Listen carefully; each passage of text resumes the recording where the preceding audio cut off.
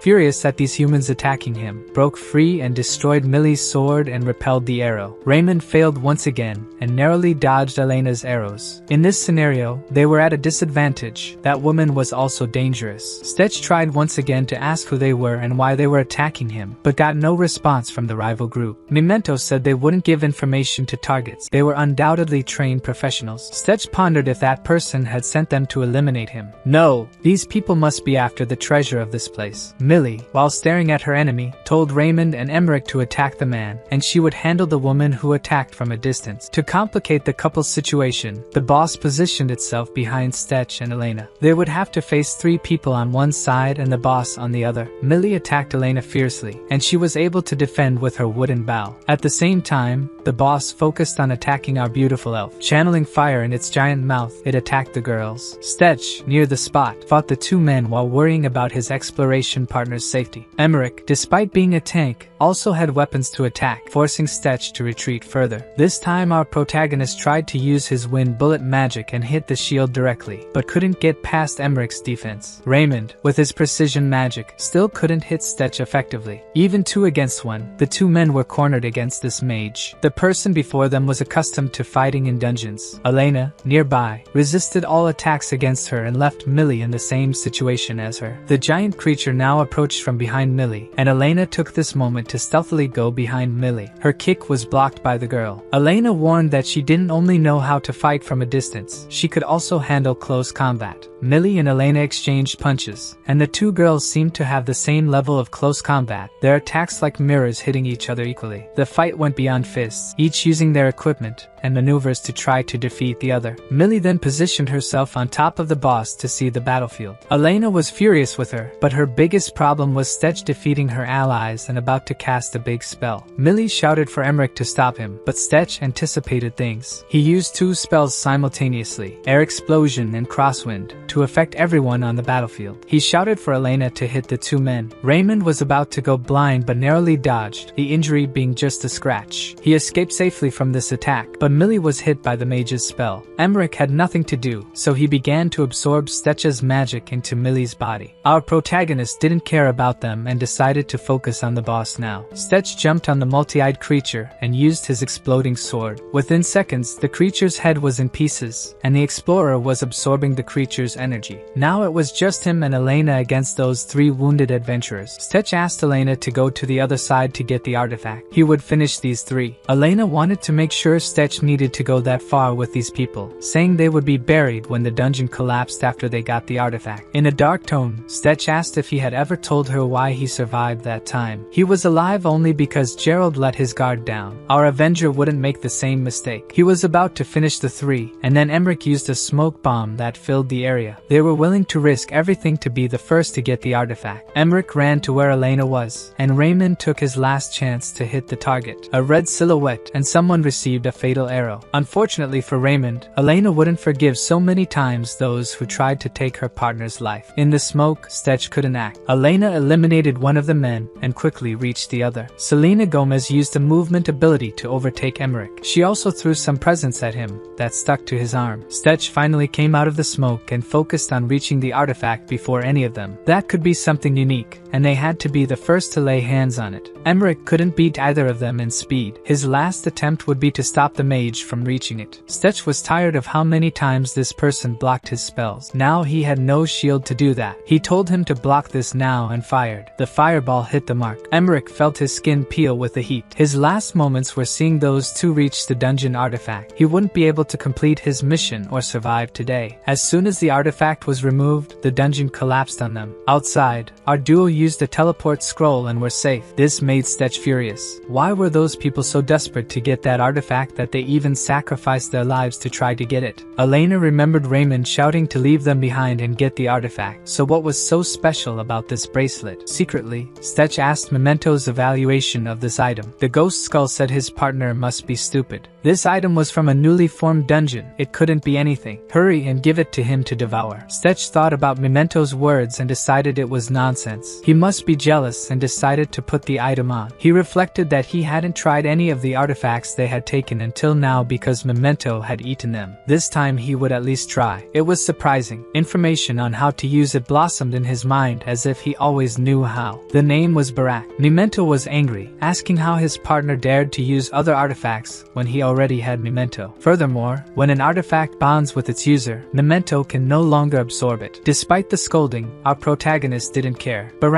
was now logged into the Explorer Stetch atelier. Selena Drainoir asked if Stetch wasn't going to absorb it this time. Stetch then picked up a stone to test its effect. By enchanting the object with his artifact, it became more powerful. He explained to Elena that it was like the enchanted item was a magical tool. Stetch said he felt that the stronger he got, the more artifacts he could possess. This made Memento angrier, as his partner was using other artifacts besides him. It was betrayal, Sometime later, they encountered a man who was waiting for them. Stetch and Elena were to stay under his care. Elena began to realize that her partner was someone with good connections. Soon, they set off while he looked at the map. He instructed her that if they continued heading north from where they were, there would be a mountain range called Rakasha and one of the largest mining cities on the continent called Sentigma. That was where they were headed, but something didn't make sense. The city he mentioned was in the opposite direction, but their guide insisted they had to do something first. It's difficult to enter Sentigma because of its tight security, so they needed an alternate route. The reason he was placing those stones along with the money was to pay the toll. The merchant warned that they were quite lucky because it's increasingly rare to find people like him willing to take this route. Now, they could hide in the wagon. When Elena climbed up and showed her beautiful legs, for some reason, Stetch's cheeks turned red. During the hours on the road, he had to control himself so nothing would go out of hand. And of course, they passed through security without the merchant having to show the wagon's goods. When they arrived, the merchant showed them the city and advised them to go to the bars first to gather information about the place. They went to a bar where the owner had heard a lot about Stetch through Dalton. His name was Baltazar. He would have loved to welcome the two, but they arrived at the worst possible time. Naturally, Stetch was curious to know more about this, while Elena was once again hating that terrible thing humans like to drink. Baltazar revealed that there had been more monster incidents around the mines in recent days, so all the kingdom's soldiers gathered to subdue the area. Baltazar suggested that if Stetch had any sense, he wouldn't go to the surface and draw attention, since his head was valuable. Our protagonist was not happy with his situation and made it clear that he did not intend to stay in the city for long. His interest was in the black market smiths and alchemists. When would they arrive in the city? Baltazar, surprised by the question, said the kid didn't really understand the situation. Because of the subjugation, there were hundreds of soldiers in the city, and for that reason, all the blacksmiths were involved with orders for the army. Stetch, then furious, realized he couldn't get what he came for in this city now. Baltazar explained that even though army services didn't pay as well, in times like these, they helped make the city's area safer, so they took all the army's orders. Stetch shouted that he had a lot of money. Wasn't there any greedy blacksmith who could be introduced to him now? Given its importance, Baltazar said he would try to find someone for him. A few days later, Stetch was crying at the bar table. He had so much money and gems, but no one wanted to accept them. Wasn't his adventure and revenge more important than protecting the city and its inhabitants' lives? Elena then came over to thank him for the human clothes he had gotten for her. One might say our protagonist's sadness would disappear right away. But before that, Baltazar came to him with good news. He had found two people to help him, and to start, Stetch could buy them a drink. Before his eyes, Stetch saw Hope, a blacksmith and an alchemist. They were Casper, the alchemist, and Letty, the blacksmith with strange muscles. They greeted each other, and Casper made it clear that the situation wasn't wasn't good. Everyone had dozens of orders to fulfill, but as a favor to Baltazar, he would prioritize Stetch. And here we see once again the advantages of having good contacts. Casper wanted to hear what the explorer needed so they could decide if it was possible. Stetch showed his sword, which he'd been using, made by a friend from another city. The two had never seen anything like it before. Before even touching the sword, they said it wasn't something that could be easily fixed. Letty inspected the item and was surprised by the quality of the sword. She also explained that the gas recipe used to activate it wasn't something easily obtained anywhere in the kingdom. Therefore, she suggested replacing the gas in the cylinders with gunpowder. Casper confirmed it would have more firepower and be easier to reload than gas, but it would be much more expensive. Stetch then smiled and showed his heavy gold coins, and because of that, he also wanted to request defensive equipment made of leather. Casper commented that leather equipment might also be difficult to obtain at a time like this and asked Letty if she could do something about it. The blacksmith said yes, but he had to provide the leather to be used since all the city's raw materials were used for the army. Some time later, Stetch was using 100% of his brain to figure out where to get leather. Baltazar mocked our hero because all the monsters near the city were stone types and had no leather to be harvested. Stetch then, in a moment of madness, asked if the monster Baltazar mentioned yesterday was a stone type too. With a serious look, the man said he didn't have direct information about that, but judging by the wounds of those who survived, it must be a beast type creature. Baltazar then explained that the army came to the city because no one could defeat this creature. Stetch's intention was obvious to everyone, but he said he wouldn't do anything stupid. It was just curiosity. Baltazar, a man who understood that men like to face dangers, the small scar on his face proved it, told Stetch that the man over there was an informant from the black market. If he wanted to find out how to encounter the creature, he could tell him. The brave soldier woke from his dreams when Stetch banged the table with a gift for him. He asked about the monster incident in the mines. The soldier was furious because that wasn't something he could tell a stranger who might spread gossip later. Stetch said he didn't want to spread rumors. He just wanted to know about the moment they were attacked. This made the man even angrier. He vented that it was true. He was the soldier who fled instead of fighting. Did the kid have a problem with that? Baltazar quickly stepped in to knock some sense into the soldier using the best way possible. He said it was obvious the man should have fled since he was a precious source of information for the black market. The informant revealed that the monster in the mines was a manticore, which was strange to Stetch. This creature typically appeared in the deserts of Caldet. Why did it come to the Raksha mountains? The informant recounted that they were excavating a wall in the mine, and when it broke, the creature emerged for the first time. He was sure the monster had bat wings and a scorpion tail. Upon hearing this description,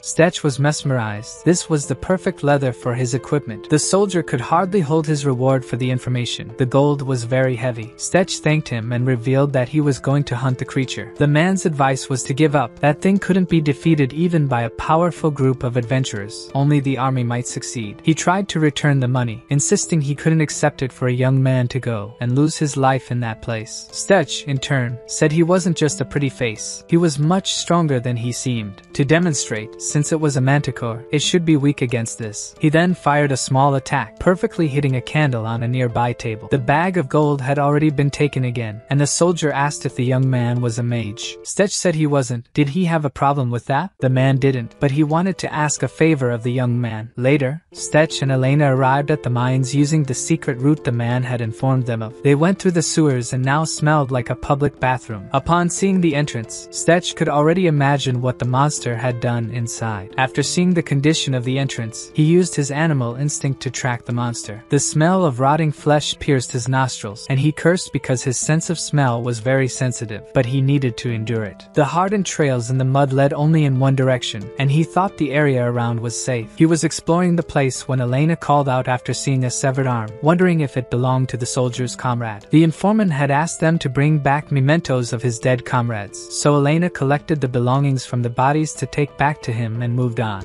The creature was prowling the area.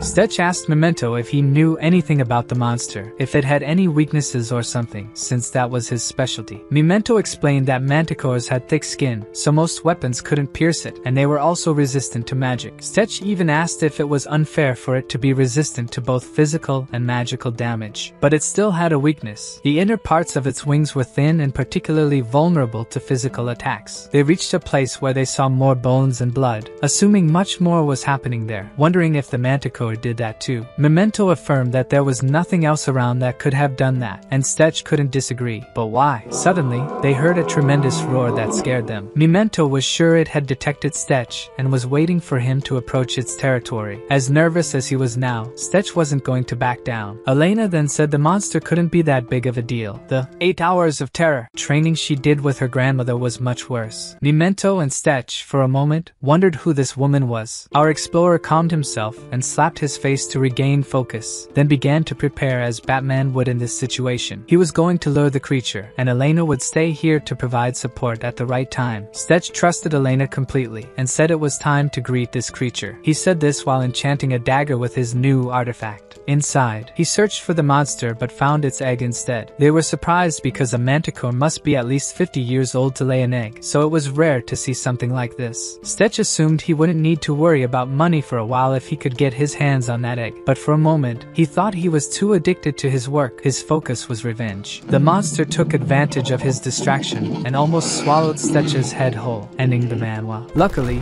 Stetch was quicker and didn't die a second time. The creature still didn't give up and nearly hit him with its long scorpion tail, which he blocked with his dagger. His weapon got wet with the acid from the venom. If that got on him, it would be a problem. Memento stated that the creature used its egg as bait because it knew it was very resilient and they wouldn't be able to harm it. Stetch didn't need to think much and decided the best thing to do was run, so he did. The creature roared furiously at him. How the hell did this coward decide to flee so quickly? As if challenging Stetch, the monster roared again. Our protagonist accepted the challenge and tried to use his fire and lightning magic simultaneously, covering the manticore's entire body with it. Then Memento warned him to be careful. The monster's tail almost hit him again, and this time it launched poisonous stingers. Stetch continued to run and throw magical attacks to lure it, and despite the high magical defense, the manticore felt some effect from the magic. It also kept launching stingers, which Stetch defended against. The creature then started receiving multiple arrow attacks, which also didn't affect its thick skin. After some time, the creature reached the trap and got stuck in the wires he had placed in the tunnel. Stetch then threw as many fireballs as he could, and Elena shot all the arrows she could. He shouted to add even more power because the creature was going to give in, but that didn't happen. The manticore, feeling cornered, roared so loudly that the attacks were dispersed. The duo now had to face the monster head on. Determined to win, Stetch approached while Elena provided support. The monster covered its eyes to avoid being hit, so Stetch climbed even higher to hit directly on the wings. The stealth attack was effective, and now the monster decided to fight back. It hit him with its head, smashing him against the cave wall. He was injured and spat blood, worrying Elena, who could only shout for him and hope he would respond that he was okay. Stetch used recovery magic, and Memento reminded reminded him that it wasn't effective. This magic only restored the body's health but didn't heal open wounds, injured organs, or broken bones. Stetch knew this and said it was worth the effort. That dagger was exactly where he wanted it, and now he just had to use it. He attacked the manticore with electricity magic, and this time the electric arc had a significant effect on the monster, its scream of pain echoing throughout the underground. This made him very happy. His plan was working. The thick skin was resistant on the outside, but the sword made the electricity enter the body and damage the monster from within. Even though he had the advantage, the creature's resistance was so great that it was still holding on. With a roar of desperation, the monster nearly deafened everyone to disperse the attacks on it, then tried to use this moment to strike its vile stinger and defeat the insolent human. Stetch and Memento synchronized and used an air explosion magic to disperse the creature's attack, avoiding the stinger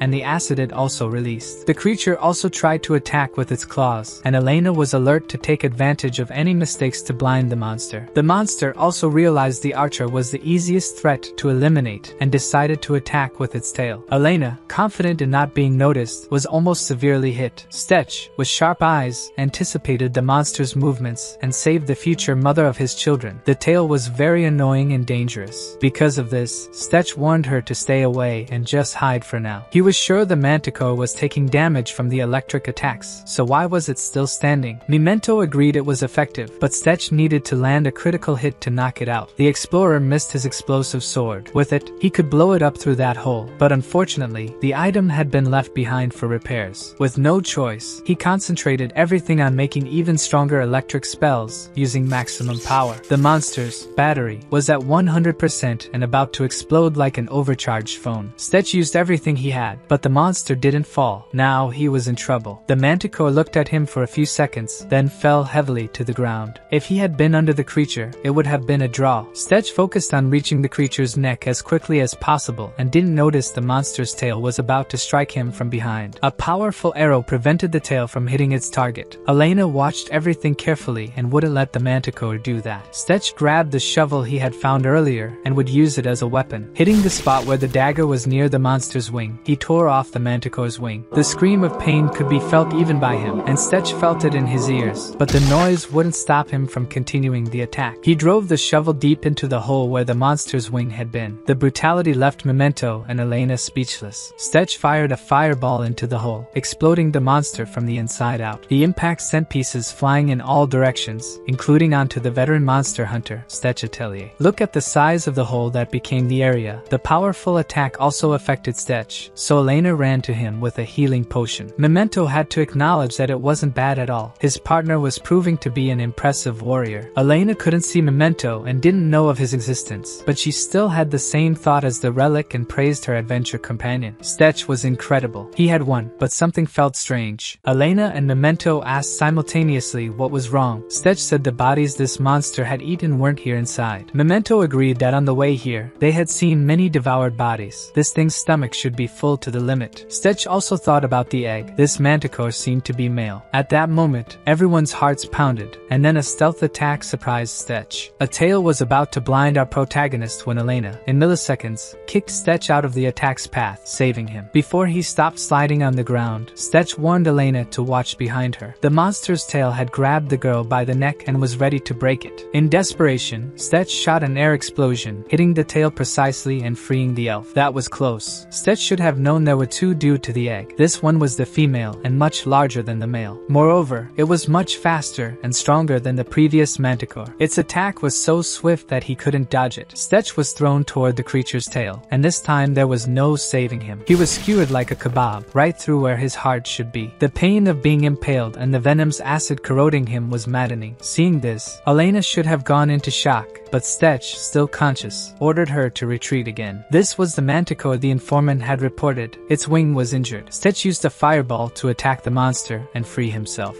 Despite having a hole where his heart should be and venom flowing through it, he managed to stand up. Despite his warning, Elena decided to come and cover Stetch while he recovered. Before she could do anything, the creature, with its speed, hit her from the side, breaking her bow and throwing her far from the scene. With the force of the impact, it was impossible to tell if she was unconscious or worse. Stetch's situation was critical too. He quickly took another healing potion and worried about Elena's state. Memento noted that she wasn't dead yet, but it wouldn't be long before all three of them perished if this continued. The female manticore, furious over her partner, charged at him. This time, Memento took the lead, capable of casting spells for Stetch while his partner focused solely on attacking. Stetch had no choice but to attack and try to defeat it before being defeated. Using wind magic, he launched himself up and dodged the attack. Using the moment when the creature's vision was obscured by dust, Stetch had only one chance to do this. He descended, cutting the creature's bat wing, and before reaching the ground, he landed on the monster's head, blinding it in one eye. Now, he needed an eye patch. The manticore retaliated, biting half his abdomen. Despite the pain, Stetch smiled, adrenaline flooding his body. The monster even tore a large chunk out of him, but before he could see the wound, the creature kicked the human away. Still lying on the ground, Stetch's abdomen was fully healed. This time, the human roared loudly, startling the monster. This prey was acting like a true, crazed predator. Elena opened her eyes, feeling pain all over her body. Remembering she was in a battle, she was startled by what she saw in front of her, a cautious manticore facing a wounded human. What Elena couldn't see from behind Stetch was that he was insane. Memento reminded his partner that their mana was at its limit. They had, at most, one more spell left to stay alive. Knowing this, Stetch handed his dagger to Elena and said he wouldn't last long. He needed her support now, and his life depended on it. The manticore watched its predator closely, and then suddenly, an electricity spell hit its back, running through its body. Stetch used everything he he had, and it was enough to knock the monster out for at least a few seconds. He just needed this time to get closer. Using his new max level weapon, he dug a hole in the monster's other eye and then shouted for Elena to cut off the creature's tail now. Elena flew like a bird and positioned herself behind the creature. Using the blade he gave her, she perfectly severed the tail. Stetch used a powerful stinger against its own owner. He knew the manticore was the top predator in this place, and this was the most powerful weapon here. Stetch pierced the monster, hitting its heart and killing it instantly. Finally, they had defeated it. Now, the question was, who was the true monster here? After some time, they returned to Baltazar's bar. Everyone was stunned by the situation. Just these two had defeated the manticore that the army couldn't. Stetch said not only that, but she had laid an egg, and he managed to take that too. Baltazar would receive a reward in exchange for the information, but the man insisted that the story he had to tell now paid the price. After all, this was what plagued the entire city and was resolved by the selfish explorer who wanted priority over the blacksmiths helping the army protect the city. The informant soldier was in the same place, drunk as always. Stetch approached him to return the belongings of his friends who had died down there. Stetch said that was all that was left of the soldier's remains down there. He wished he could have brought more. This comforted the man's heart. His cowardice that day tormented his heart every night, but at least he could take this to their families when he visited. Despite the sad situation, Stetch was happy to have helped someone on his adventures. That night, an alchemist visited the bar, having heard there might be a manticore egg there. Casper was amazed by the egg, while Letty was impressed by the creature's leather. Baltazar warned everyone that if anyone lost or damaged these items, he would personally drag the responsible party to hell. Stetch laughed at the excellent customer service, feeling at ease. Letty didn't know what Stetch had done to kill the creatures, but their hides were quite damaged. She knew that was the least of the problems when fighting a manticore, as it was almost a miracle he had returned alive. Stetch agreed with her, saying that if he had worried about the hide during the fight, he would have died in an instant. Casper informed him that the bag on the table was the leftover money from upgrading his weapon. Stetch was surprised to see so much money left over. The blacksmith said his sword was in the workshop and should be ready by the next day, but the armor would take about three days to complete, even if they started now. The protagonist was shocked to hear this, as he believed it would take much longer to cure and tan monster hides, but Letty said only amateurs took that long. Elena arrived with a problem. She asked if there was any chance to repair her bow. Letty declined, and the protagonist assumed it was too damaged to be improved and would need to be remade. However, that bow was crafted with elven technique, so Elena wondered if something of the same quality could be made. Stetch apologized to her, as it was his fault her bow was so damaged. She was saddened because it was an old bow given to her by her grandfather, knowing it would eventually wear out. Memento appeared and agreed with her, making Stetch feel even more guilty about the destruction of such an important bow. The protagonist suggested they visit the blacksmith the next day to see if they could fix it. She thanked him sadly, wished him a good night, and went to her room to rest. Memento asked if he thought they could find something with elven craftsmanship. Stetch was so irritated he wanted to tell Memento to shut up while he thought of a way to help her. Meanwhile, Prince Gerald was commanding the soldiers to rebuild the defensive wall as quickly as possible before the next wave of monsters. Nothing was going according to plan.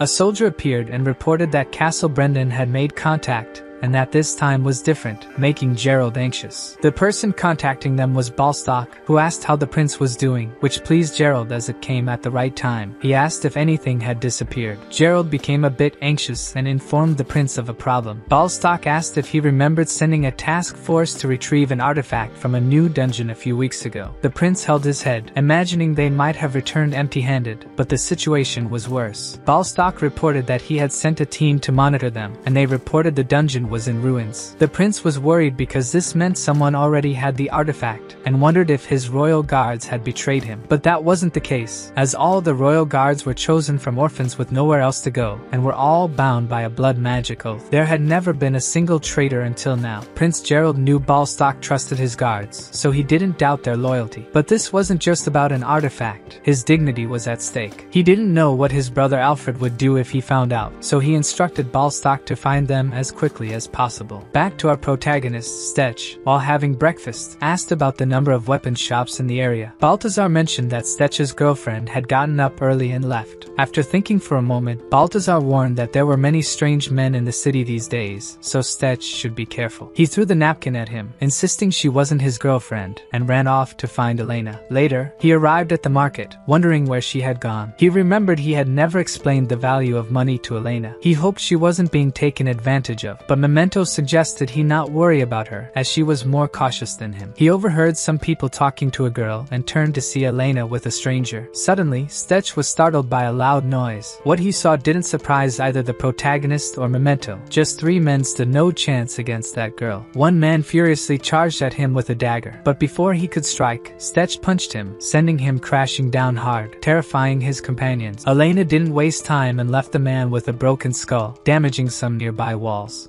Stetch asked if she was okay, and Elena questioned if he was worried because she couldn't defeat that woman in the dungeon last time. Stetch was definitely not concerned for her safety, but rather the danger of her killing these men by overexerting her strength. Moving past this, he wanted to find a safer place. On the way, Elena wondered what he was doing there. He had come looking for her and asked why she had left so early in the morning. Elena explained that elves believed ancient valuable tools contained the spirit of their ancestors, and her bow contained her grandfather's soul. She was determined to repair it as soon as possible. Her words pierced the protagonist from all sides, making him feel even guiltier, groaning in pain. Memento was surprised to realize that the elf was much cleverer than he thought, as she was trying to make Stetch feel guilty guilty. She was murmuring about burning the bows, although finding a sufficiently isolated place was difficult. Elena visited some shops but didn't have the courage to go in, fearing they might discover her elven heritage. Stetch understood what had happened and asked for some time, confident he could find a bow she liked, as promised. Memento laughed, thinking he might be joking, and wondered where he would find something to replace a bow that meant so much to her. Stetch told him to stay out of it, but his artifact did not take orders. Stetch called her over to check out one of the shops he found,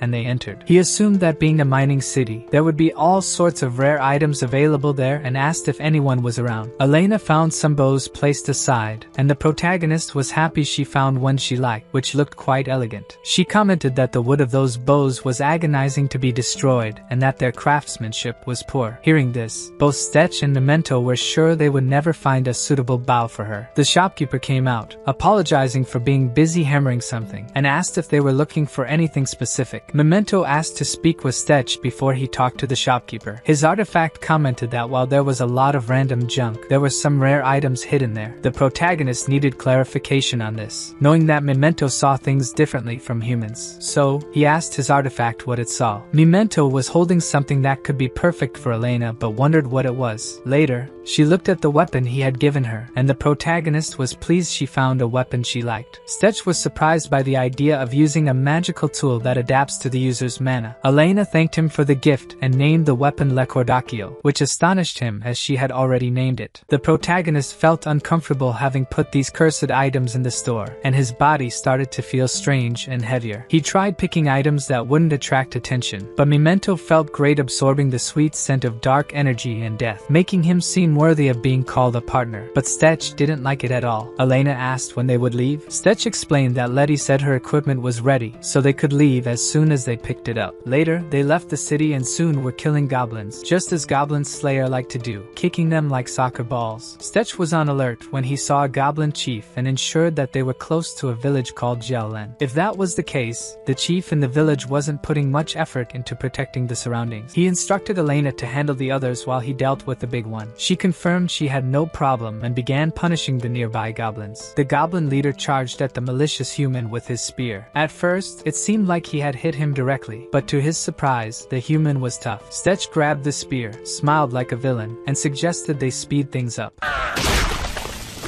A few noisy minutes passed, leaving all the goblins in the area scattered on the ground, with Stetch absorbing the mana of their leader. Elena asked if their next goal was to teach a lesson to the corrupt lord of the village. Stetch replied that their aim was to help the villagers and cut off one of the royal family's sources of income. He told Elena about hearing something interesting from his friend Dalton. He revealed that a lord named Borden had started collecting tons of money, and what surprised Stetch was the rumor that the chief of Jelan was hoarding hundreds of artifacts in his personal vault. If this corrupt person had so many artifacts hidden in the city, he would be forced to share with our protagonist. They entered the village, where a soldier was taking a man's pig. The man begged them to let it go, saying his family would have nothing left if they took it. The soldier scolded him and ordered him to be quiet, saying everything they had belonged to the Lord, so he should stop complaining and hand over the pig. Elena looked furious, ready to use force to stop this cruelty, but Stetch held her back. He recognized it was wrong but instructed her to wait for now, as they needed to assess the situation situation and not draw attention yet. The family man had his last animal taken as taxes and now couldn't feed his family. The two approached the man and offered him a gold coin in exchange for a place to stay if he didn't mind sheltering them in his home. They made a delicious meal for them, even though the guests insisted they didn't need to do so much. The man explained that things started to get worse a few years ago, initially raising the prices of public facilities like the water well. But since then,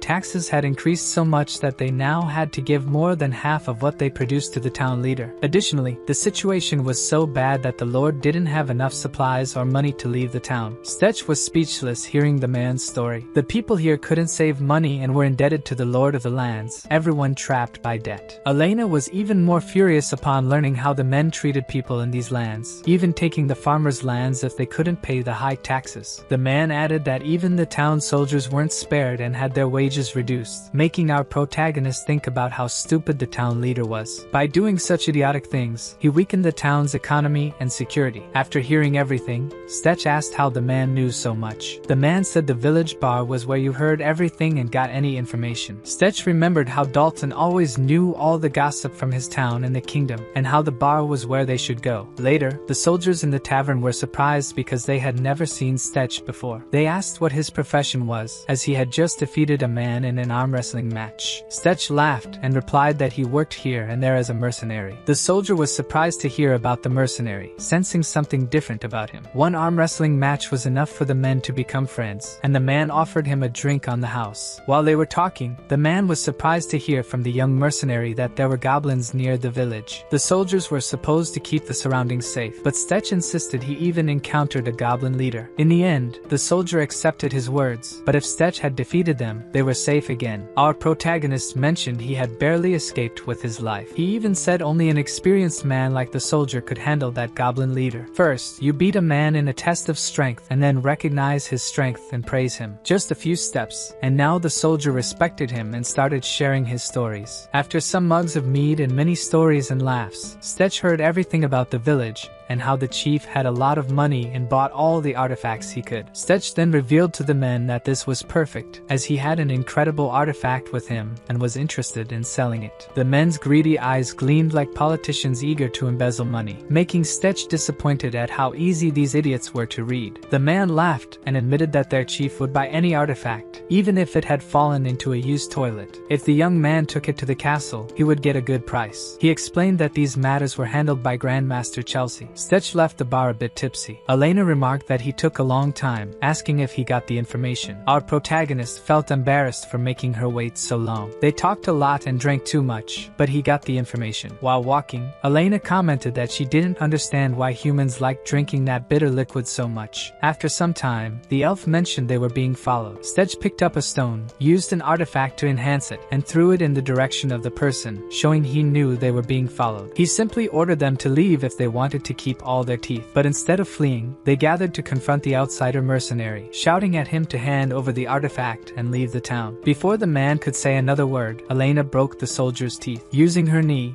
she stomped on the man and jumped three meters into the air. Even Stetch was surprised, telling her not to attack people while they were talking. He even commented that he didn't know how he had managed to defeat her in the past. Memento made sure to mention that our protagonist only won because he was buffed by him. Before Stetch could join in to help, she had already broken the teeth of five soldiers. After a few minutes, all the soldiers were tied up. When Stetch saw the leader of the soldiers, whom he had befriended at the bar, he made sure to kick him in the face. He then approached the man and asked how they had assembled this group so quickly to come after him. Was this all planned from the beginning? It seemed they had a habit of robbing people around here. But he asked, who is the boss organizing this? These idiots couldn't be capable of doing this on their own. He said he wanted the person's name right then. If he didn't speak in three seconds, his fingers would be the least of his worries. After much persuasion, the man didn't hesitate to say that the person responsible was Grandmaster Chelsea. This left our protagonist doubtful, but the man confirmed it was Lord Chelsea who sent them here. He even explained that the Grand Master ordered them because Duke Borden had been spending too much money on artifacts, so they needed to replenish the town's funds. Stetch was embarrassed to realize that the men hadn't even thought about stealing for themselves. They were just following orders for this idiot. He then asked if they knew where this person kept the artifacts. Before the soldier could respond, the man from earlier intervened, saying they didn't know. He shouted that Lord Chelsea was very cautious about spreading his information. Not even a common soldier knew where the artifacts were. Stetch agreed that made sense, but the soldier from before shouted that he knew something suspicious. Near the chief guard's barracks, there was an unusual post. He mentioned seeing them taking a large piece of meat down there. Stetch quickly asked, What use is this information? I don't want to know about a pile of meat, the soldier replied. Are you dumb? How is this useless? If there's a large amount of meat being taken down there, it means there's a wild monster. This means the monster guards the dungeon or the place where the town chief stores his valuable relics. Then we are shown the chief of Jelland Borden. The man received a visit from the Grand Master named Chelsea. He came to ask if there had been a response from Prince Laptors. The town duke said he didn't need to be impatient. They should only worry about fulfilling the order, which was to increase the artifact collection for him. The duke explained that he was particularly interested in the latest artifacts they had collected, especially this last one, which was worth more than the other two combined. Borden said they had to send these artifacts for the prince to see personally. If everything went well, they would be set for life. He emphasized that Chelsea's job was to ensure nothing interfered during this time. Now, back to our dear explorer's house. He was staying at a villager's house and had hidden the guards he defeated last night in that house too, before executing his plan to steal all the town chief's relics. These people couldn't leave and reveal his presence in the town, so he told them, If you don't make any noise, you can leave alive after I finish my job. Our protagonist then prepared some kind of potion while telling Elena they should get ready to infiltrate that well and get the town chief's treasure. If they were smart, there would be many protective traps in that well. Even though he didn't know exactly what was down there, the best way to get in was through the well itself. Elena had no objections but asked how he planned to enter that well without any guards noticing and how he would deal with the possible monster inside. While preparing a potion, Stetch said that the monster inside was definitely a living, biological creature. Since it ate meat, it was a carnivorous creature. All they needed to prepare was a special meal to keep it calm. While staring at the potion that would solve this part, he wondered. The problem now is getting out of there. How will I do that? He replied that in this situation, he would need Elena. She had to cause a distraction at the right moment so he could escape the place. He said she could use any method to draw attention, even throwing a meteor on the town. The important thing was to distract all the guards. After hearing this, she wasn't worried. He would go in alone, deal with the monster, and escape with the artifacts. This had to be very dangerous. She asked, Why can't I go with you? Am I just an obstacle? Is that what you're saying?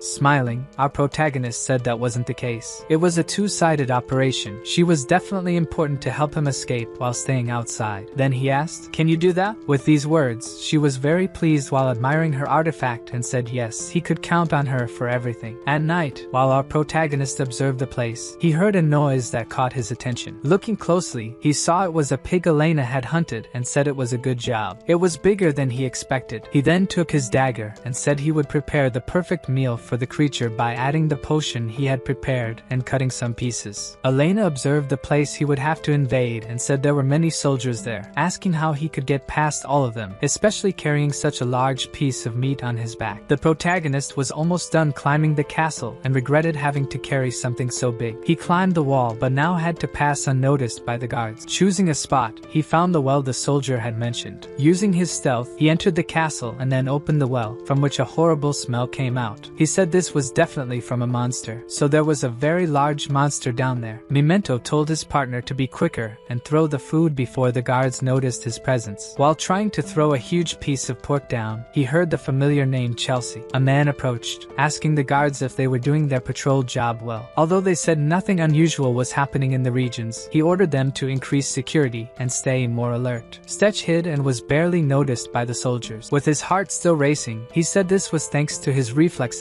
which had increased with experience. Memento commented that the man was their chief and was even stricter. If they were ordered to increase security at this moment, it was because they were about to do something important. Stetch also didn't understand the point of collecting so many artifacts just to keep them stored in a room. They talked while Stetch was holding on at the well's entrance. He said that once he was sure the bait was taken by the monster, he would go down. After some time, he jumped into the well. He commented that his nose must be broken because he could barely smell the horrible odor he had smelled earlier. His thought was interrupted when he heard the breathing of something very big in front of him, a sleeping monster that he recognized as a Burnipa. Memento wondered how they managed to bring this monster from the swamps to here. Stetch said it was very interesting, showing that nothing was impossible if you had a lot of money. He passed calmly in front of the monster and said he had used a very large dose of sedative. It definitely wouldn't wake up for some time. Memento still didn't understand how they managed to keep this creature under control. What were the humans doing? After walking, Stetch reached a locked door. He commented that for a normal person, this would be an obstacle, but for him, there was no lock good enough that he couldn't open. It didn't take long before he was standing in front of a room filled with treasures. In all directions, he saw a lot of gold and jewels. More importantly, Memento told him to look further ahead. When he did, he was surprised because it was exactly what he was looking for. He checked the artifacts, and saw that the dagger and the helmet were nothing special. They didn't compare to his Barak artifact on his wrist. Memento, almost drooling, told him to give them all to him to eat. Stetch did so, and upon consuming the two artifacts, Memento increased his capabilities. His mana limit went from 850 to 3250. His lightning ability evolved, unlocking a new skill called Tesla. Observing all this, a sort of system window, not much explored by us, appeared. He realized he was much stronger now, but there were still many abilities that needed much more mana than he could currently handle. This motivated him to become even stronger. He handed over two artifacts, but there was still one that was different. He tried to open the vial to understand what it was, but he couldn't. So, he decided to take it with him and study it later. After collecting as much gold as he could carry, since gold is very heavy, he encountered a now awake monster on his way out. Damn, the effect didn't last long at all. He grabbed his dagger and quickly stabbed the creature in the neck. Before he could execute an explosion skill, another monster hit him, throwing him far away. The blow was strong, dragging him several meters on the ground and even making him bleed from his mouth. He wanted to leave unnoticed, but it looked like he would have to fight this creature. Stetch prepared to cast a wind spell, but it was nullified, almost causing him to be fatally struck by the giant monster. He didn't understand what was happening. Memento said there must be Dispellium embedded in these walls walls, an impressive piece of work. Dispellium is an extremely rare material that nullifies any magic.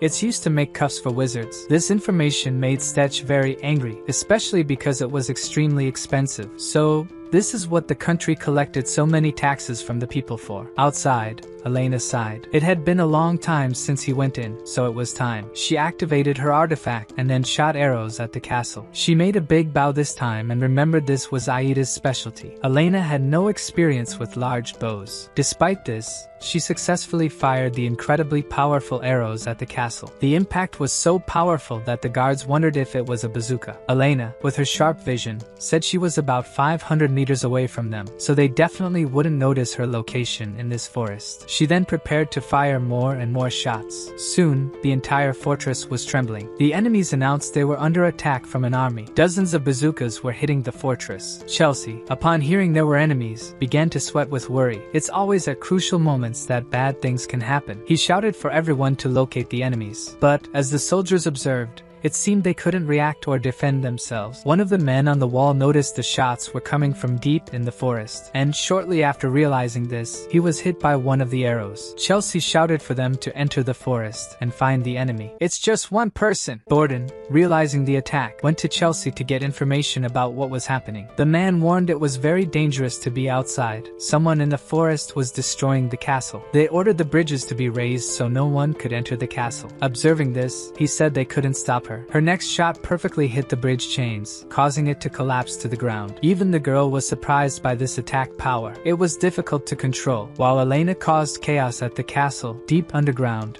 Stetch fought the creature. Unable to use magic, how could he defeat such a large monster? Memento, acting as an advisor, said that when they couldn't use mana, he was also affected by it. But that wasn't so bad. This was the perfect opportunity for Stetch. The protagonist was furious. How could this be perfect for him? Was he going crazy? Then, he remembered that Stetch had worked hard to get a new sword and armor. Was his partner an idiot after all? Motivated by his companion's words, he found an opening and attacked the creature from behind, stabbing the blade into its neck. Resilient, he then activated the gunpowder explosion embedded in his sword. Seeing the effect, Memento commented that this was what he was talking about. That crazy dwarf was able to make something this powerful? Stetch remarked that this could blow his arm off at any moment. The other Burnipa attacked quickly. He dodged the creature's attack by jumping to the ceiling. Using another ammo capsule, he prepared his dagger. When the creature had its back turned, he had the opportunity to attack again. But before he could get close, the monster quickly turned and roared ferociously at him. It had many teeth, its breath was heavy, and the sound was very loud. So, to create a new opening, he faced the monster, and when it attacked, he slid under it. Stetch used his sword and didn't need to use the explosion. The flesh underneath wasn't tough, and he cut the Burnipa's belly like butter. I presume even its privates were cut in half. Now he regretted not exploding and burning the monster, as he was covered in the stinking creature's remains. Even Memento acknowledged that his partner now smelled like sewage. Stetch would trade all the treasure there for a bath at that moment. He tried to use the curse-eating ability, but it didn't work due to the mana-dissipating stones present. In this case, the Burnipa's mana would be wasted. Memento wondered how Stetch would carry so much gold up. It was too heavy to climb the well. This question made our protagonist think better. What should he hide now? He had already made a mess down here, and up there. Elena must have caused chaos too. He said that, in this case, he would leave through the front door. All he needed to do now was find a way to get to the castle. Using a hidden lever, he pulled it, and an elevator opened in front of him. This led him into the castle, which was connected to the town chief's castle. The protagonist hid as some soldiers ran down the corridors, shouting that the castle was under attack and even the gate bridge was broken. Stetch, hiding, had no doubt that only Elena could cause such a commotion. Using his animal instincts, he analyzed the location of everything nearby that made noise. He knew where the stables were and heard the soldiers saying the enemy's weapon was arrows, but not normal ones, and that the bridge couldn't be closed. After that, he was sure it was Elena and decided his path. Jumping out a window, he headed to the horses. It didn't take long for the guards to see someone someone without armor riding a horse while carrying a sack so large it might be heavier than the horse itself. Stetch managed to escape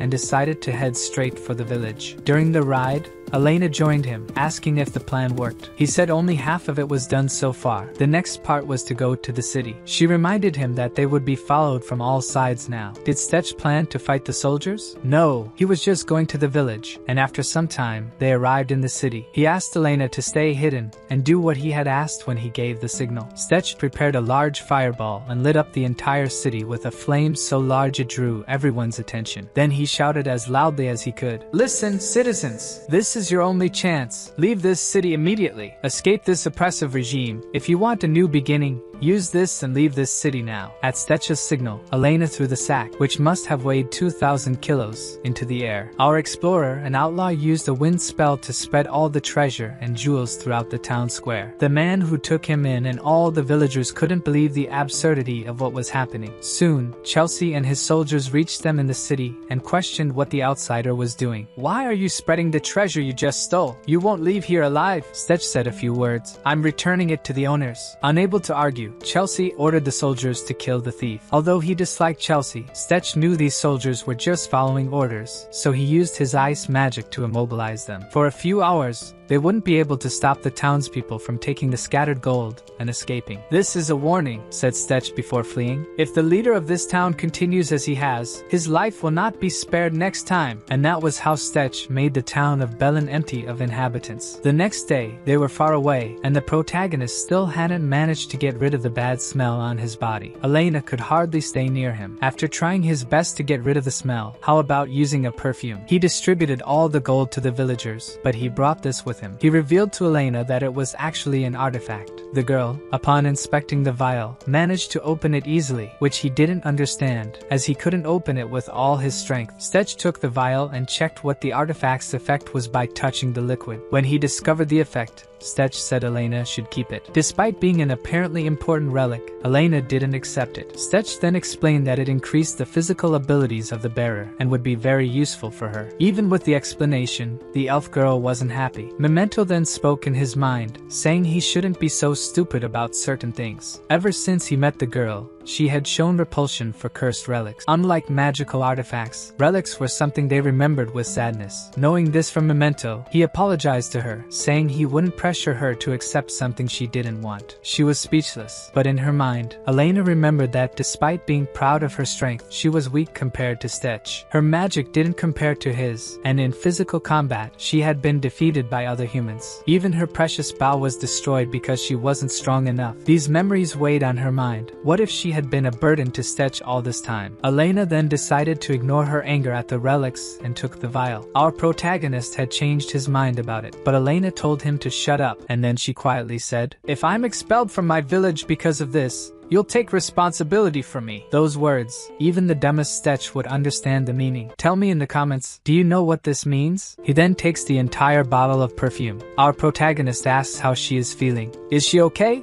The girl responds that it is an artifact that enhances her senses and cleanses the impurities from her body. Its name is Amrita. Stetch says that's great. The effect should start soon. And just as he said, the artifact begins to spread on her arm first. Seeing the elf's face of suffering, Stetch remembers the time he assimilated with Memento Mori. For him it was like truly dying. But she must not panic. Everything will be fine. Elena simply collapses to the ground and passes out. Some time later, she regains her senses. When she opens her eyes, she feels her senses are overly sharp and her brain cannot process everything. Even her heartbeat sounds too loud and she can feel each grain of dirt on her fingers. Stetch notices that his partner has finally woken up. So, how does she feel? Are you tired? Can you control your artifact? Our protagonist was worried, but Elena says that her senses are very enhanced and that smell is killing her. Can he please stop stinking? While things are being resolved between the duo, we are shown the royal family again. The prince has received a letter he was expecting. Laptors is not satisfied with the information he received.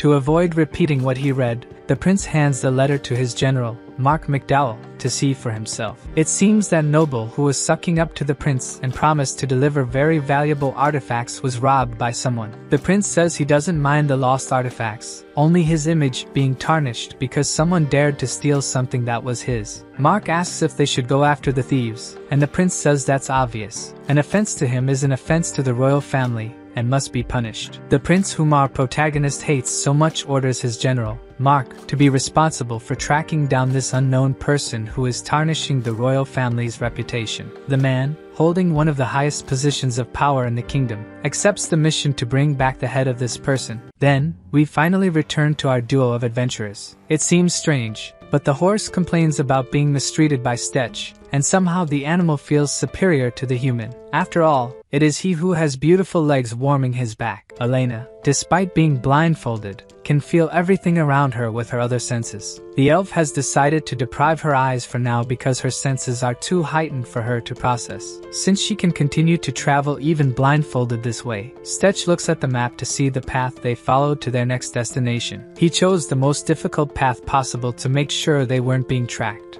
However, this path is worse than he thought from now on. They wouldn't be able to continue on horseback. Elena asks him to wait. She can feel something he doesn't imagine is nearby. Elena removes her blindfolds to confirm, its wings flapping and approaching. To confirm the girl's suspicions, Stetch activates his animal instinct to also enhance his senses. To his surprise, he detects nothing, so how can she hear that far? She explains that it's the roar of a monster and a faint sound of humans. She asks Stetch if he will save them. The protagonist says it doesn't make sense for soldiers to be in this forest. That means they are people who deserve to be saved. The problem is how to cross this bridge, and this fog is very dangerous. In that case, Elena tells him to step back. It seems the monster has noticed them. When Elena pulls out her bow, Stetch recognizes that it looks really cool. Even cooler is when the artifact's curse accumulates in her left eye. When her cursed artifact concentrates on her vision, the Sharingan comes into play, and her arrow seems to travel miles to the target. He wonders, did it hit? Just one shot exhausted Elena,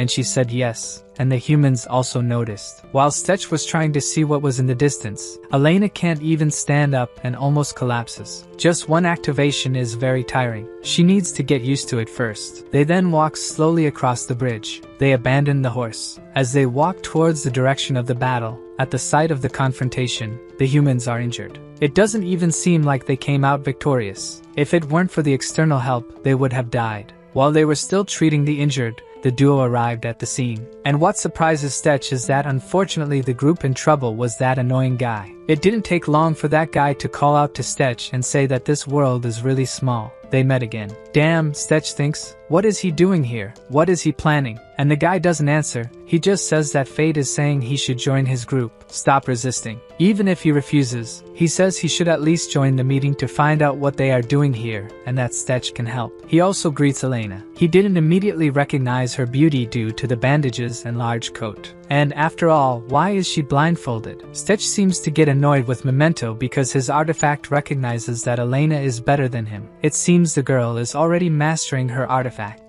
Despite not wanting to do this, they follow to the camp of the thieves. They are camping here because the path ahead requires a bridge to pass. They are still building it. Stetch then asks what this has to do with fighting monsters out there. Then Garrett responds that they seem tasty and they need to eat to survive. Just thinking they would eat those monsters makes Elena nauseous. Are all humans that disgusting? Garrett knows that Brian Gosling doesn't want to go with him, but still, he insists on going to the group meeting to hear about their plans. Maybe he'll feel like helping them, and nothing like a good argument. He remembers that the bridge they need to move forward is destroyed. So, only when his group builds a new bridge they can pass. The only way to cross the mountains is via a bridge or using a cave, which is very dangerous. Knowing that the only way is to build a bridge or go through a cursed tunnel makes Stetch curious about the cause of the bridge's destruction. Despite Garrett's arguments, Stetch does not agree, so the man asks for at least a favor from him. So, sometime later, Stetch was using electricity to take down the monsters surrounding the camp. The Humangos are powerful beasts, and yet they were annihilated by Stetch's enhanced electricity magic. The poor monsters were destroyed so thoroughly that there wasn't even anything left to eat. Garrett, having seen the powerful magic before, was still amazed because this was even more brutal. What kind of training has this guy been doing for this? This magic is even more powerful than conventional electricity magic, but Stetch knows it consumes a lot of mana, so it's not something he can use freely. Elena says Stetch seems tired, doesn't he want to rest a bit? But in fact, he wants to test more abilities. He forms a concentrated shape of his electricity magic and asks Elena to inform the direction of the monsters. The elf, with her senses even sharper than Stetch's, says they are 400 meters to the right. Then, with a concentrated shot, he fires and hits the school of monsters flying towards them. The target was hit perfectly, but one monster survived. It screamed fiercely, causing Elena to suffer with her sensitive hearing. Unfortunately, among the monsters were some harpies. These creatures are much more powerful, and Garrett's group decides to help defeat them. However, Stetch yells for them to back off or they'll get hurt. When the protagonist prepares to make another electricity shot, Garrett yells for his companions to step back or they'll become barbecue. Stetch uses the full charge of his Arca magic, the Surge. A wave of electricity crosses the entire sky and destroys all the aerial monsters in front. This level of destruction was something no one there had ever seen in their lives or even knew was possible. Garrett, watching this, tells his companions that this is why he insists that this guy join them. After the magic, Garrett orders everyone to collect the monsters' bodies and help the injured. After using so much power, Stetch is a bit tired. Garrett even questions why he is making so much effort if he doesn't like him. He also says that the girl, from afar, the protagonist, is tired due to being stunned by the noise. So, the best thing to do is for them to join to rest, they don't need to help. And that was how two days passed. While they rested, Garrett's men managed to rebuild the main bridge. Garrett offers food as a reward. Thanks to the two adventurers, the monsters stayed away since then. Those things dominated the territory and were eliminated. Now this place will be safe for a long time. Garrett was explaining that they will be safe here for some time and can even charge a toll for the new bridge they built. Their discussion was interrupted when the little dwarf came to inform that their pursuers were spotted near this place. They did not expect this, so Garrett runs to the location to check if they are safe. They are not friends, but Elena asks if they should help. Stetch doesn't admit that he likes these people, but decides he will investigate alone. Elena should stay here and keep an eye on the situation. It didn't take long for the two to be watching from afar a caravan that stopped near the mountains. This group has been following them for a long time, and they've had countless fights while being hunted. And this time, it seems the group is bigger, with more mercenary soldiers. Judging by that flag, he recognizes whose soldiers they are. They hired a mercenary group called Drakes. They are powerful, so they won't be able to provoke them and run away. Despite everyone in the room recognizing the strength of this group, Stetch had no idea who those people were. Garrett explains that they are famous in the kingdom, especially their leader named Garrett. He is called the Dragon Destroyer or Dragon Slayer. This surprises Elena. A human managed to kill a dragon? The truth is that man never killed a dragon. It's just propaganda he created himself. But that doesn't mean he isn't really powerful. He then asks why that special name must have a reason. The explanation is that the artifact he carries with the dragon head is called Spiratus. It can shoot explosive bullets like a dragon's shot. Despite Garrett's words, Elena questioned why that seems impressive. For a moment, Garrett forgot he was talking to two monsters, but he argues again that it has infinite bullets, as it can eat stone and shoot explosions. Memento tells his owner that this is easy, that artifact is no big deal. Anyway, Garrett didn't convince the two that that man is really powerful, and so far they have only fled from that group. But now their plan is to defeat them. Stetch questioned if they are counting on his help. Garrett responds that of course, after all, Stetch is the strongest member of this group. Our protagonist never accepted joining this group, and questioned why Garrett can't infiltrate them and kill everyone. After all, they have the artifact that makes people invisible. Irritated, the man says it makes you invisible, and if it were possible to make other people invisible, they wouldn't even be here asking for Stetch's help. Memento, speaking in our protagonist's head, says the man is telling the truth. The ability to enter another astral dimension costs a lot for the user. Just one person would already be impossible. And it was only with this explanation that our protagonist understood why Garrett was so tired in the battle they had. If Stetch decided to help, Elena asks what they should do. Stetch questions if she would be able to defeat them. Everyone here shooting arrows. Although they are powerful, there are many obstacles to the location. If they are discovered, they will lose their advantage. Stetch then asks if the little dwarf can use that magic to make people sleep. Garrett explains that that man is not a mercenary for nothing. That kind of magic has no effect on them. His mercenaries wear armor with magical protection. After hearing all the things they can't do, our protagonist says he already has his plan. Garrett doesn't understand Stetch's plan because he talks about cages and making them run. Then we are shown Garrett's camp. There are kingdom soldiers and mercenaries who are celebrating. For them, each day alive is an achievement, so they drink until they sleep. The soldiers will stay on guard. It's very strange, but even Garrett's artifact deserves to eat too. It feeds on stones for pleasure. It seems this thing has an appetite too. The men's camp was peaceful. Then suddenly something almost pierced Garrett's head. An arrow from Elena almost ended the battle. The men realized they were being ambushed, so they shouted to search where the arrow came from. Before they realized, the weather was cold, and ice magic took over the whole place. They were stuck to the ground. Garrett doesn't understand who would dare to attack a fearless group like his. Elena aimed directly at the head, and even so, the man defended the surprise attack. This proves the Dragon Slayer is strong. Stetch, impatient, decides the only way is to face them directly. Long distance attacks won't be enough. Garrett had to admit that Stetch has giant balls indeed. He can't even imagine what lies between them. Don't judge me. Those were the character's words. I didn't make it up. Garrett was surprised to see that the attack against his powerful group was being done by only two people. Now that the enemies appeared, he breaks free from the ice easily. He was just waiting for the enemy to think he had an advantage. What most bothered Garrett is that the mercenary was insulting, calling them bandits, but the man identifies himself as a righteous man helping the poor. Even Stetch agrees with Garrett that they are bandits. No need to try to deceive people.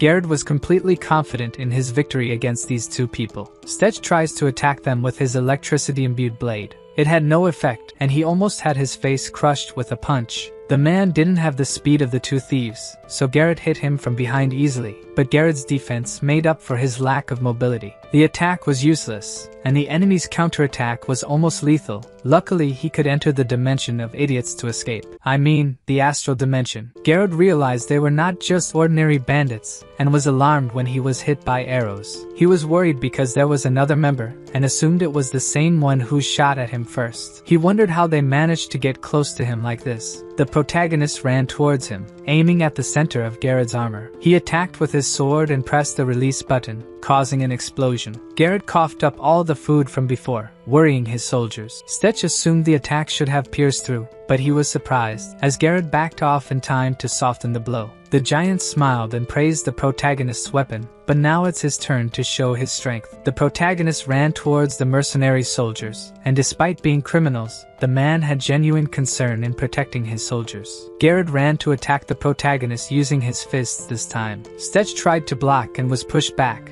maybe breaking his arm. Before he could recover, Garrett ran again for an even stronger attack. Elena was worried because he was too close not to hit Stetch 2 with an arrow strong enough to overcome the armor. Garrett also didn't know how he could help in this fight without some attacks strong enough. Memento recognizes that this Garrett is strong. He acknowledges his flaws and compensates with the right items and strategies. Stetch, even close to being crushed, told Memento to save the praise for when they defeat the enemy. The protagonist decided to try to block the artifact's blow with his sword with electricity magic. He was able to repel the attack, but it didn't cause any damage to the giant man. Then he wondered if his magic would work. He used the explosion ability and attacked, but Garrett absorbed the attack with his artifact. This shocked Stetch, as Garrett was a much more difficult opponent than he thought. Garrett reveals that he expected the man to have a magical artifact. He claims to have defeated countless people like Stetch. Garrett ran to attack him, but missed because he is very slow. The soldiers cheered for their leader,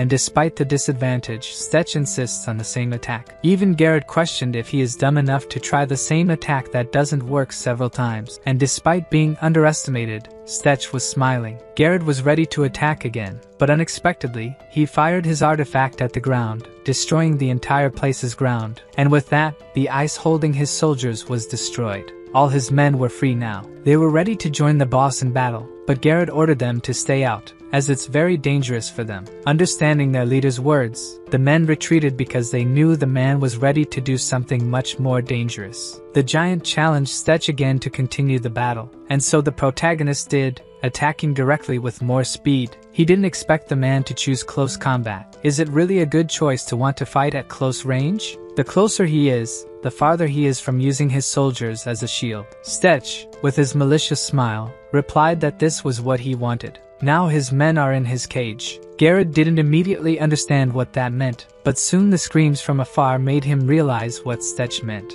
All the soldiers were in shock on the ground, literally. They were well done inside. Garrett didn't realize another wizard was with them. The truth is, there's no other wizard, but Stetch's ability used on a large scale, creating a cage that hits anyone trying to leave its area. The weaker soldiers can't resist like Garrett and can't escape. Even Garrett found Stetch's methods cowardly. This bastard is the true villain here. Now that they can't escape, what remains for them is to try to help their boss in combat. This explains how Stetch wanted to make a cage. Now, Garrett comes into action and, with his artifact, defeats the weaker mercenaries. Garrett feels weak dealing with these wimps while Stetch faces the real boss alone. Even Elena, who is distant, can handle the common and weak soldiers. For Garrett, it's even more surprising to realize that the woman aims directly at the joints. It's not just a boyfriend, she is also scary. After a few seconds, all the soldiers were defeated, and one was taken as a hostage. Garrett was furious and questioned if they had no dignity. How can they fight so dirty? Stetch even gets annoyed hearing these words from a mercenary. A life and death duel has no rules, and dead people can't complain. He prepares to cast his wind magic and Garrett repeats that magic has no effect on his magical armor. Despite all Garrett's confidence, this attack has a great physical power, and even his strong armor doesn't block the powerful impact. Garrett now realizes his opponent was conserving energy before. That wasn't his most powerful attack. Stetch shouts that now he got him. Then Garrett helps and attacks directly the giant dragon slayer. The combined attacks force throws the man against the wall. At this moment, Garrett wonders, who is this guy? That magic is more powerful than a traditional wizard's. The man's armor was broken. Garrett then decides he can't hold back anymore. He will use everything he has now. Before he realized, one of the black spheres was above him and hit him powerfully with the electricity magic. Garrett can't help but be impressed with Stetch. Even so, Garrett, burned like barbecue meat, was still standing, but the sword would deliver the final blow. Facing his last moments, Memento shouted in Stetch's mind, Dodge that now! A shot almost took a piece of his ear, and then exploded in the background with deadly energy. This firepower goes beyond what they told, that's why he didn't use it, for sure it would kill his companions. Now on the brink of death, that's no longer a concern. Garrett was shooting in all directions hoping to hit the enemies, or cause the most damage possible before dying. Stetch didn't count on that. This way he has no way to counterattack. While the two men didn't know what to do, suddenly a green light hit the dragon's head. Garrett, curious about what that was, had only a few seconds to realize it was an arrow blocking the cannon. The explosion was so powerful that it must have burned the hair of everyone near the place. Of course, the responsible was Elena. Only the girl could hit an arrow with such precision. After the defeat of the mercenary leader, only the rest of the troops were left, who were like trash compared to the trio. And so, they were all eliminated the next day, after a long night. The people were working to repair the destroyed things, and Stetch stayed up all night on watch. Elena questioned why he was making so much effort, and even denying to admit he wanted to help these people, the bandits who robbed the rich from the royal family and distribute to the poor of the kingdom. Stetch and Elena were called to Garrett's tent. He was very grateful and also wanted to show something important to Stetch. Something that was kept, then he places it on the table. It was simply Garrett's artifact. It turns out that Stetch had donated this to them, but the man refuses. He says he doesn't deserve the merit of having this, it's Stetch's. The only reason is that none of his men can use this artifact. To demonstrate, Garrett uses the artifact. It changes appearance and size depending on the user. The point is that only Garrett, who had a powerful physique, could withstand the rebound of this thing. Anyone else would lose an arm. Stetch had no intention of using something like this, as it doesn't suit him, but Memento suggests to his selfish partner to offer it to Elena. The protagonist even asks why Memento is being so generous with her. Memento explains that this is an investment. Stetch, as his partner, will have more chance of success in his mission if he makes this girl even stronger to support him. It's not charity, it's an investment. And if so, our protagonist offers it to Elena. He makes her take the gauntlet while holding her enchanted bow, and as expected, it adapts to her body, so she can use the relic and hold the enchanted bow. Garrett acknowledges that Elena is stronger than all of them, and can use this to strengthen her shots, and use as a shield because the item is resistant to magical attacks. Stetch then accepts the gift and questions, what are these papers and maps on Garrett's table? These things were in Garrett's possessions. Stetch then realizes they are direct orders from the royal family,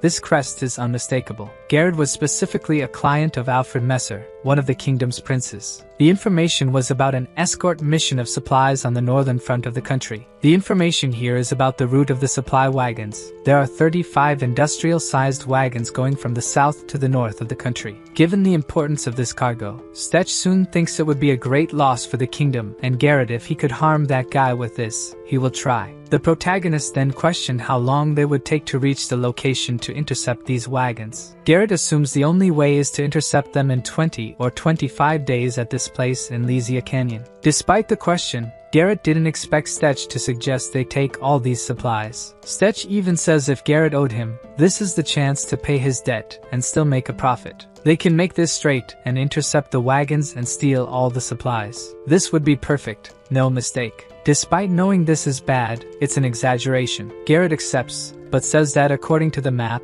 it seems the distance is short, but it's immense. They wouldn't reach in time if they went around the canyon. The only way is to go through the underground dungeons. However, the risk is even greater, as they would face much more powerful monsters than harpies and humangos. Garrett's words had the opposite effect on Stetch. He became even more determined to defeat all the dungeons that exist on the way to the location. This makes Garrett rethink if this lunatic won't end up killing all of them. So, after some time, Stetch was in front of a dangerous dungeon that crosses the canyon. This dungeon is rank S and its entrance emanates a terrible energy. Stetch thanks the man's guidance and heads to the cave's entrance. Memento comments that it's probably one of those death worms that is the boss of this dungeon. Even though they saw the cave's entrance from afar, until they reached the entrance, there are a lot of obstacles. Stetch was even discouraged by the work it would take to cross all this. However, a strong explosion caught his attention, and when he went to check, Elena had the ability to destroy all the rocks along the way. Memento, admiring, says that's what a true archer is. I say more, these are the curves a beautiful archer should have, like those of Olympic archers. You comment if they are amazing or not. And subscribe to the channel, please. If you do,